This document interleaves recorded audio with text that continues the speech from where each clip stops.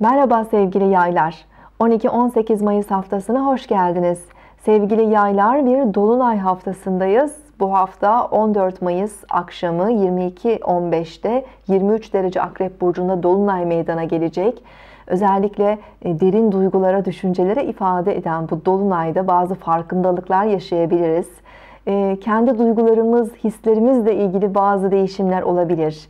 E, yeni kararlar alabiliriz bizden gizli olan bazı konuları fark edebiliriz.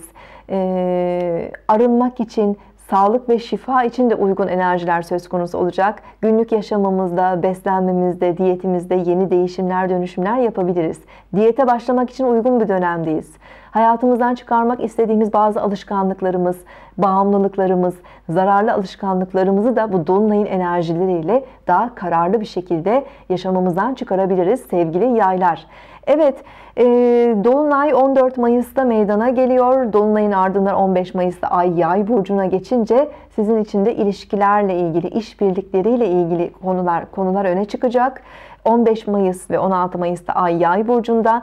16 Mayıs'ta Koç burcunda Venüs'ün Uranüs'ün kavuşumu var. E, biraz hareketli ve enerjik bir gün olabilir. Özellikle duygusal hayatınızda ani tanışmalar, sürpriz tanışmalar, birdenbire başlayan ilişkiler, heyecanlar olabilir, romantizm artabilir, haberleşmenin de artabileceğini işaret ediyor. E, kısa ve uzun seyahatler gündeme gelebilir sevgili yaylar. E, biraz daha kendinizi iyi ve enerjik hissedebilirsiniz. Motivasyonunuz artabilir. Hafta sonu 17 Mayıs'ta Ay Oğlak Burcu'na geçiş yapacak. Parayla ilgili konular gündemde oluyor. Özellikle başkalarıyla paylaştığınız hisseli paralar, e, yatırımlar, e, banka, kredi işlemleri gibi konularla ilgilenebilirsiniz e, hafta sonu özellikle.